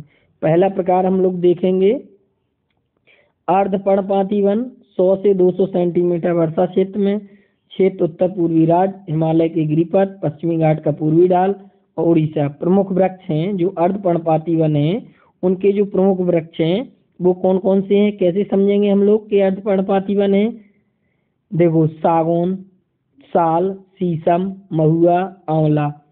ज़ाहिर सी बात है महुआ का पेड़ क्या है? पर्णपाती वन है, मानसूनी वन है, शीशम, साल, सागौन और एक एक तो हो गया आर्ध पर्णपाती वन, सौ से दो सौ, एक क्या होता है? शुष्क पर्णपाती वन। इसमें क्या होगा कि सत्तर से सौ सेंटीमीटर वर्षा, इसमें कहाँ जा रही थी? सौ से दो सौ सेंटीमीटर। सबसे ज़्यादा वर्षा हो उष्ण कटबंधी सदाबहार वन, ठीक है? उष्ण कटबंधी सदाबहार वन, सबसे ज़्यादा वर्षा हो। और रोजवुड महोगनी। आद पर्णपाती वन, सागौन सभी जानते हैं। साल शीशम जानते हैं, महुआ जानते हैं, आंवला के पेड़ ये क्या है? आद पर्णपाती वन। आज आप लोगों ने पढ़ा होगा तो आज आप लोग वीडियो देखे हैं। शुष्क पर्णपाती वन, सत्तर से सौ सेंटीमीटर वर्षा क्षेत्र में। क्षेत्र प्रायद्वीपीय पठार का अधिक वर्षा क्षेत्र। ये कहाँ पाए जाते हैं शुष्क पर्णपाती वन? वो तो पाए जा रहे थे। आद्य कहाँ पाए जाते थे? हिमालय के गिरिपद में, उत्तर पूर्वी राज्य में, पश्चिमी घाट की पूर्वी डाल और उड़ीसा में। शुष्क पर्णपाती वन कहाँ पाए जाते हैं? प्रायद्वीपीय पठार का अधिक वर्षा क्षेत्र उत्तर प्रदेश और बिहार में।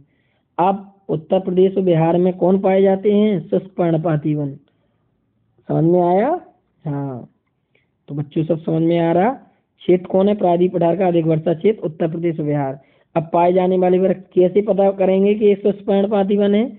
तो तेंदु तेंदु तेंदु पत्ता की बीड़ी वगैरह भी बनती है ये सब। और तेंदु का वो पलास बेल बेल का जूस बन के खैर आदि। उष्ण कटबंधी कांटेदार वन। अब इसको क्या है? पचास सेंटीमीटर से कम वर्षा क्षेत्र में उष्ण कटबंधी कांटेदार वन। दक्षिण पश्चिम पंजाब, हरियाणा, राजस्थान, गुजरात, मध्य प्रदेश, उत्तर प्रदेश। पाए जाने वाले बबूल। बबूल का एक पेड़ होता है। बबूल का जैसे नीम होती है, ऐसी बमूरा का पेड़ होता है। बबूल, खैर, खजूर। खजूर में कांटे होते हैं। खैर, नीम, खेजड़ी। खेजड़ी कहाँ होती है? राजस्थान में। पलास अब बात करेंगे हम लोग पर्वती वन की। पर्वती वन क्या होते हैं कि हिमालय पर्वत एवं दक्षिण भारत के पर्वतों पर सोलास, नीलगिरी, अन्नामलाई और पालनी पहाड़ियों पाए जाने वाले वन बेलांचली व अनूप वन विस्तार 6740 वर्ग किलोमीटर क्षेत्र पर आर्द्रभूमि क्षेत्रों, डेल्टाई क्षेत्रों समतटीय क्षेत्रों। अब भारत की प्रमुख जनजातियाँ के बारे में हम लोग चर्चा करेंगे। तो जो उत्तर प्रदेश में जनजाति है, वो कौन सी है? थारू, राज़ी, खरवार, बुक्सा कोटिया सबसे बुक्सा। बुक्सा कहाँ पे है? बिजनौर में है। बड़ी जनजाति थारू, राज़ी, खरवार बुक्सा बोटिया बिहार में क्या है? असोर, बिरहोर, खरिया कोरबा झारखंड में उराव, हो, बिरहोर, खरवार, असुर, भेंगा, भूमिज, खोड, कोरवा। मध्य प्रदेश में छत्तीसगढ़, कोरवा, कमार, सहारिया, बेंगा, बिरहोर। राजस्थान में, राजस्थान की एक प्रसिद्ध जनजाति है मीणा। मीना मीना भी बोलते हैं। मीणा, भील, कोल, भील कहाँ पे है? राजस्थान में सहारिया, गरासिया, दमोर, पटेलिया पंगानियर कुछ तो सब लोग को पता रहता है, जैसे मीना हो गया कोलभील हो गए, सहरिया हो गए, गरसिया, ये सब राजस्थान। उत्तराखंड में कौन सी है? भोटिया, थारू, जौनसारी, बुक्सा। बुक्सा उत्तराखंड में भी है और उत्तर प्रदेश में ही बुक्सा। बुक्सा से बिजनौर। राज़ी तमिलनाडु, कोटा, इरुपलर, पनियर, टोडा, उड़ीसा, बिरहोर, जुआंग, बोडो, खरिया। कर्नाटक की कुरवा कोरान जेनू गुजरात की सिद्धि, कोतवालिया, कोलगा, पश्चिम बंगाल, टोटो डोडो बेटा नहीं डोडो बेटा एक चोटी है, पश्चिम बंगाल में टोटो, लोडा, बेरोर, अंडमान निकोबार दी सोमपेन जारवा, ये सब पीसीएस में क्वेश्चन पूछे गए हैं, जारवा सेंटनली ओ ग्रेट अंडमानी। भारत की प्रमुख जनजातियाँ निवास क्षेत्र, जैसे जो कोल व्हील है, वो कोल व्हील क्या है? गुजरात, मध्य प्रदेश, छत्तीसगढ़, महाराष्ट्र, राजस्थान, गोंड एक जनजाति है। बिहार, पश्चिम बंगाल, झारखंड, महाराष्ट्र, छत्तीसगढ़, मध्य प्रदेश, उत्तर प्रदेश, उड़ीसा। गद्दी गद्दी क्या है? हिमाचल प्रदेश में। संथाल संथाल क्या है? बिहार। वो नहीं संथाल, विद्रोह, बिरसा मुंडा विद्रोह, बिहार, झारखंड, पश्चिम बंगाल, उड़ीसा, त्रिपुरा, मुंडा। मुंडा कहाँ है? बिहार में, झारखंड, मध्य प्रदेश, छत्तीसगढ़ पश्चिम बंगाल। इसमें क्या होता है कि क्वेश्चन दिया जाता है संस्थान जनजाति कहाँ पर निवास करती है? तीन ऑप्शन गलत रहेंगे, एक ऑप्शन वो सही कर देंगे या फिर वो कहेंगे कहाँ पे नहीं पाई जाती है। तो एक ऑप्शन गलत कर देंगे, तीन सही कर देंगे। कोरबा झारखंड, छत्तीसगढ़, कोल। कोल क्या है? बिहार, झारखंड, छत्तीसगढ़, मध्य प्रदेश, उड़ीसा। कृषि, कुछ महत्वपूर्ण, भारत का विभाजन। 20 कृषि पारिस्थितिक क्षेत्रों में भारत की कृषि क्या है? मिश्रित कृषि। कृषि क्या है? कृषि भी हो, पशुपालन भी करते हैं। अंतर फसलीय खेती एक ही भूमि पर एक साथ दो अधिक फ़सलें उगाने को क्या बोलते हैं? अंतर फसली एक मार्ग। एक मार्ग क्या होता है? एक मार्ग क्या होता है? कृषि उत्पादों की गुणवत्ता का निर्माण। एक मार्ग कब दिया जाता है? जब कोई फ़सल अच्छी हो जाती है। अब भारत में झूमिंग कृषि के क्षेत्रीय नाम। एक झूमिंग कृषि होती है। झूम कृषि जो है उत्तर पूर्व में भारत में असम में पाई जाती है, मेघालय में, नागालैंड और मिजोरम में। ठीक है? भारत में झूम कृषि के नाम से जानते ठीक है? झूम कृषि, कहाँ कहाँ झूम कृषि को जानते हैं भारत में? असम में झूम बोलते हैं, मेघालय में झूम बोलते हैं, मिजोरम, नागालैंड और पामलू। पामलू कहाँ बोलते हैं? मणिपुर में। दीपा कहाँ बोलते हैं? छत्तीसगढ़। बेवर, दहिया, मध्य प्रदेश। पोंडू, पेंडा, आंध्र प्रदेश। पामाडाबी, कोमान और बरीवा, उड़ीसा, कुमारी, पश्चिमी घाट, वालरे, सालतरे, दक्षिण राजस्थान, खेल हिमाचल प्रदेश, कुरुआ, झारखंड। बस दो पेज और बचे हुए हैं। धैर्य बनाए रखें आप लोग पेशेंस की ज़रूरत होती है पढ़ाई में। चलिए, विश्व में झूमिंग कृषि के क्षेत्रीय नाम, मिल्पा, मैक्सिको और मध्य अब विश्व में बात करेंगे झूमिंग जैसे अगर मिल, मिल्पा की बात होगी तो मैक्सिको, मध्य अमेरिका, कोनको, वेनेजुएला रोका ब्राज़ील ब्राज़ील फुटबॉल वगैरह, ये सब फुटबॉल वगैरह प्रसिद्ध है ब्राज़ील। मसोले, मध्य अफ्रीका, लद्दाख, इंडोनेशिया, रे रे क्या है? वियतनाम झूमिंग कृषि के कई नाम हैं। इधर से क्वेश्चन आ सकता है। खनिज कुछ प्रमुख तत्व। आर्कियन युग की धारवाड़ क्रम की चट्टान सर्वाधिक खनिज संपन्न चट्टान है। ईंधन, खनिज, कोयला तथा पेट्रोलियम अवसाद सैलों की चट्टानों में पाई जाती हैं। छोटा नागपुर को भारत का रूर प्रदेश कहा जाता है। छोटा नागपुर को भारत का क्या कहा जाता है? रूर प्रदेश के नाम से जानते हैं। अब प्रमुख खनिज संस्थान के बारे में बात करेंगे। हिंदुस्तान कॉपर लिमिटेड खेतड़ी खेतड़ी कहाँ है? राजस्थान में। हिंदुस्तान जिंक लिमिटेड, उदयपुर ए भी राजस्थान में है। भारतीय खान ब्यूरो, ठीक है? नागपुर में राष्ट्रीय धातु प्रयोगशाला जमशेदपुर। जमशेदपुर क्या है? टाटा की है। ये मध्य प्रदेश में होगा, बर्मा माइंस क्षेत्र खन, केंद्रीय खनन ईंधन अनुसंधान केंद्र, धनबाद। खनिज अन्वेषण निगम लिमिटेड, नागपुर। लोय खनिज, लोय अयस के कुल आरक्षित भंडारों का लगभग पंचानवे परसेंट भाग मतलब पंचानवे परसेंट सौ में लोहा कहाँ पाया जाता है? लोह खनिज। उड़ीसा में, झारखंड, छत्तीसगढ़, कर्नाटक, गोवा, आंध्र प्रदेश, तमिलनाडु, इतने राज्यों में पंचानवे परसेंट पाया जाता है। लोह चार प्रकार का होता है। कितने प्रकार का होता है? एक तो लोहा कितने प्रकार का होता है? डलवा लोहा, पिटवा लोहा देखो लोहा चार प्रकार का होता है। एक हेमेटाइट हेमेटाइट का सूत्र क्या होता है? F E two O three magnetite F E three O four limonite two F E two O three three S two O siderite F E two O C O three hematite S को लोहे का oxide भी कहते हैं। Haematite S को लोहे का क्या कहते हैं? ऑक्साइड भी कहते हैं। इसका रंग लाल गेरुआ होता है यह मुक्ता धारवाड़ और कुड़प्पा सेलों में पाया जाता है। लोअर एस का प्रादेशिक वितरण, उड़ीसा मयूरभंज जनपद के गुरु महसानी एवं बादाम पहाड़ क्षेत्र क्योंछर ज़िले के वरी सुंदरगढ़ किले के मालंग टोली, कंडाला पहाड़, कर्नाटक, बेल्लोरी चित्रदुर्ग चिकमंगलूर, सिमो, सिमोगा पहाड़ी, धारवाड़ क्षेत्र, छत्तीसगढ़, राजनांदगांव, बेलाडीला सेठ, जगदलपुर, दंतेवाड़ा, बस्तर और दुर्ग। झारखंड में नोवामुंडी, डाल्टनगंज, सिंहभूमि जिला आंध्र प्रदेश कृष्णा, कर्नूल, कुड़प्पा, नेल्लोर महाराष्ट्र, पीपलगांव, उसाला देवला सूरजकुंड। खनिज का नाम प्राप्ति स्थल राजगांव। मैग्नीज, क्योछर, सुंदरगढ़, कोरापुट, कलाहंडी, भंडारा, नागपुर, डोंडोरी, टिरोही, बालाघाट, छिंदवाड़ा, छाबुआ, जबलपुर, देवास। उड़ीसा, महाराष्ट्र मध्य प्रदेश मैग्नीज कहाँ कहाँ पाया जाता है? उड़ीसा। उड़ीसा में प्राप्ति स्थान ये है। और महाराष्ट्र और मध्य प्रदेश, बालघाट, छिंदवाड़ा, झाबुआ, जबलपुर, देवास, खनिज नाम। तामा कहाँ पाया जाता है? राजस्थान में। यहाँ की क्या है प्राप्ति स्थल? खेतड़ी, झुंझुनू जिला। तामा की खान है खेतड़ी, सिंघाना क्षेत्र, खो, दरीवा दरीबा और झारखंड में सिंहभूमि ज़िले में। मेसावानी, राखा बागसाइड उड़ीसा, कोरापुट ज़िले में देश का बृहत्तम क्षेत्र। और क्रोमाइट उड़ीसा, कर्नाटक, सीसा, राजस्थान में उदयपुर ज़िले का जावर क्षेत्र रीवा राजपुरा, भीलवाड़ा, तारागढ़ फतेही अजमेर। जस्ता कहाँ पाया जाता है? जावर क्षेत्र, उदयपुर जिला, राजस्थान। सोना कहाँ पाया जाता है? कर्नाटक में। कोलार जिला, रायचूर जिला में पाया जाता है। देश का निन्यानवे परसेंट सोना यहीं से उत्पादित किया जाता है। कहाँ से? कर्नाटक से। और चांदी कहाँ से प्राप्त होती है? राजस्थान से, कर्नाटक से कोलार एवं हड्डी की खान, कर्नाटक से सिंहभूमि धनबाद और दुमका जिला झारखंड। कोयला को चार प्रारूपों में विभाजित किया गया है। कार्बन की मात्रा के अनुसार एंथ्रेसाइट नब्बे पॉइंट नाइन्टी थ्री कार्बन की मात्रा, बिटुमिनस, कोयला के कितने प्रकार हैं? सबसे अच्छा कोयला कौन सा होता है? एंथ्रासाइट। उसके बाद, क्योंकि जिसमें कार्बन की मात्रा ज़्यादा होगी, वो कोयला सबसे बेस्ट होता है।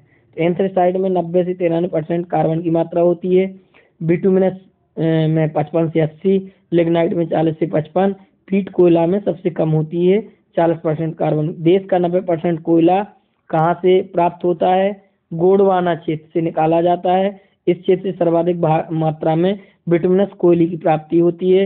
एंथ्रासाइड कोयले का सबसे कठोर एवं चमकीला रूप है। एंथ्रासाइड लिग्नाइट कोयले का सर्वाधिक भंडार एवं उत्पादन कहाँ पे है? लिग्नाइट कोयला तमिलनाडु। अब ये लास्ट पेज है हम लोग मैराथन क्लास यहीं पे द एंड करेंगे। फिर विश्व की दूसरी क्लास लाएँगे, छत्तीसगढ़, सोन, सोनहट, सोहान, सुहागपुर कोरबा तापा, तातापानी, रामकोला, छत्तीसगढ़ में कोयला क्षेत्र, झारखंड, रानीगंज, झरिया, डाल्टनगंज, देवघर, उत्तरी, कर्णपुरा, मध्य प्रदेश सिंगरौली, सुहागपुरा, उमरिया, उड़ीसा, तलचर, इबू नदी, असम मिकिर पहाड़ी, सिंगरीमारी, सिक्किम, रंगित घाटी, पश्चिम बंगाल, रानीगंज, बारजोरा वीरभूमि मेघालय, खासी पहाड़ी बांगपा मालोम सिलजा, सिंजू, तेलंगाना, गोदावरी घाटी, सिंगरैनी।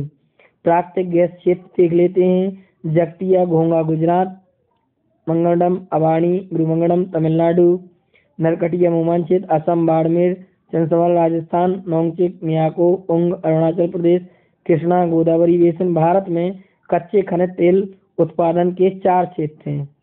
कौन कौन से हैं? आइए देख लेते हैं। ब्रह्मपुत्र घाटी से, गुजरात तट से और पश्चिमी तट, पूर्वी तट। ये क्या है? कच्चे खनिज तेल के उत्पादक चार क्षेत्र ब्रह्मपुत्र घाटी देश है का सबसे पुराना तेल उत्पादक क्षेत्र है। भारत की प्रमुख रिफाइनरी देख लेते हैं। जैसे जो तेल की रिफाइनरी जैसे डिगबोई डिगबोई की स्थापना कब हुई? उन्नीस सौ असम में। असम में कितनी तेल रिफाइनरी हैं? असम में। एक तो डिगबोई कब है? 1901 गुवाहाटी उसको नूनमती भी बोलते हैं। बोगली गाँव, नुमालीगढ़, मना, नुमालीगढ़, यानी एक, दो, तीन, चार। चार नुमालीगढ़, इतनी असम में। तमिलनाडु में सबसे ज़्यादा असम में तेल के कुआ पाए जाते हैं। तमिलनाडु में कौन है? मनाली और नांग पट्टिनम महाराष्ट्र में कौन है? ट्राम्बे, मुंबई और ट्राम्बे। एक उन्नीस सौ चौवन, एक पचपन। आंध्र प्रदेश में कौन सी है? विशाखापट्टनम और तातीपाका। और एक तेल शोधन कोच्चि, केरल में है। उड़ीसा में पारादीप है। हल्दिया कहाँ पे है? हल्दिया एक बंदरगाह भी है। फिर पश्चिम बंगाल 1975 मथुरा मथुरा उत्तर प्रदेश की एकमात्र तेल शोधनशाला कहाँ पर है? मथुरा में है, जो कि उत्तर प्रदेश में पड़ता है। उन्नीस सौ बयासी में स्थापना है पानी कहाँ पे है? हरियाणा, उन्नीस सौ अठहत्तर। बरौनी बरौनी में क्या है? बिहार में भी बरौनी में। उन्नीस सौ चौंसठ। मंगलोर कहाँ पे है? कर्नाटक में। कोयली कोयली क्या है? आप लोग कोयली से केरल मत समझना। कोयली कहाँ पे है? गुजरात में। ठीक है? मैं सोच रहा हूँ कि एक बार और आप लोगों को ये बता दें। असम में कौन है? असम में तेल शोधन डिगबोई, गुवाहाटी, बोगागाई, नुमालीगढ़, ठीक है?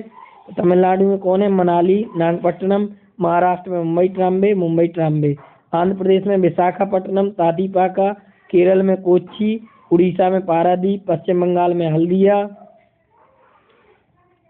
उत्तर प्रदेश मथुरा, हरियाणा पानीपत, बिहार में बरौनी कर्नाटक, मैंगलोर, गुजरात में क्या है कोयली। प्रमुख इस्पात संयंत्र एवं उनकी स्थापना भिलाई, छत्तीसगढ़। इसकी स्थापना का क्या है? 1955 जो भिलाई संयंत्र की इस्पात इस्पात बोले तो स्टील। इसकी जो संयंत्र की स्थापना है 1955 में हुई थी। किसकी सहायता से हुई थी? रूस की सहायता से। भिलाई छत्तीसगढ़ में है। राउरकेला राउरकेला कहाँ पे है? उड़ीसा में है। इसकी स्थापना कब हुई? उन्नीस सौ उनसठ में। सबसे पहले भिलाई में स्थापना हुई, उसके ये किसकी सहायता से हुआ? सबसे पहले रूस ने सहायता की, ये जर्मनी की सहायता से। दुर्गापुर क्या है? पश्चिम बंगाल में है।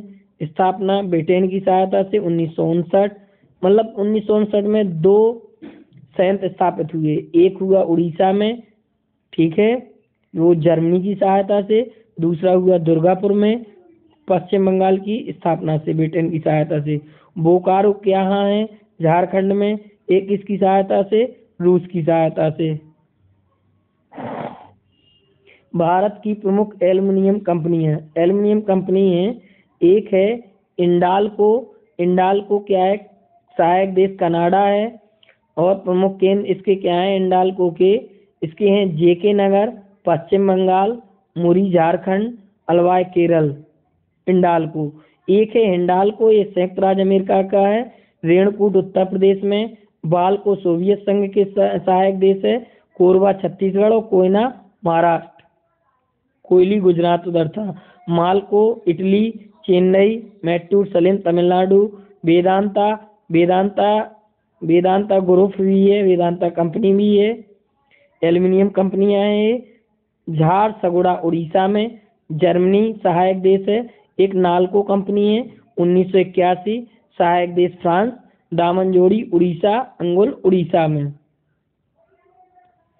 अब हम लोग राष्ट्रीय राजमार्ग की बात करेंगे कि भारत में कुल सड़क लंबाई का लगभग दो पॉइंट एक परसेंट, कुल सड़क यातायात का चालीस परसेंट वहन होता है। सबसे लंबा राष्ट्रीय राजमार्ग N H twenty seven, east west चार हज़ार एक सौ बारह, इसके पहले क्या था? Forty four. अब चार हज़ार एक सौ बारह किलोमीटर। भारत में कुल जो रेलवे जोन है, अठारह हैं। इससे पहले कौन थे? सत्रह थे। एक कौन जोन जुड़ गया है? एक मेट्रो जोन जुड़ा है। ठीक है? इस वजह से अठारह हो गए हैं। अब देखो, राष्ट्रीय जलमार्ग, अभी क्या है लोको पायलट की वैकेंसी आई हुई है। जब रेलवे का पढ़ाने लगेंगे, तब उसमें ये सब बताएँगे सब। राष्ट्रीय जलमार्ग, भारत में कुल राष्ट्रीय जलमार्ग 111 हैं। 111 राष्ट्रीय जलमार्ग हैं। सबसे बड़ा कौन सा है? हल्दिया है, जो कहाँ पे है? पश्चिम बंगाल। गुजरात की तटरेखा लंबी, भारत में सबसे लंबा जो जलमार्ग है, वो नेशनल हाईवे फोर है 2890 किलोमीटर। तो इधर हम लोगों की पूरी भारत की भूगोल, यानी इंडियन जियोग्राफी मैराथन क्लास में, पूरे जो मेन मेन टॉपिक थे, हम लोगों ने कवर किए। अब जो नेक्स्ट वीडियो आएगा, वो विश्व के भूगोल का आएगा। तब तक आप लोग बताएँ, कैसा क्या रहा। आप लोगों को फीडबैक चाहिए मेरे को, ठीक है? अभी इसलिए डिटेल में पढ़ा रहे हैं कि काफ़ी सारी आप लोगों को कवर करना है, ठीक है? तो दोस्तों, एक कंटिन्यू क्लास चली। ठीक है? जो लोग चैनल पे नए हैं, वो चैनल को सब्सक्राइब करें इन वीडियो को लाइक करें और शेयर करें। ठीक है? चलिए, तब तक के लिए जय हिंद, जय भारत, मिलते हैं नेक्स्ट वीडियो में।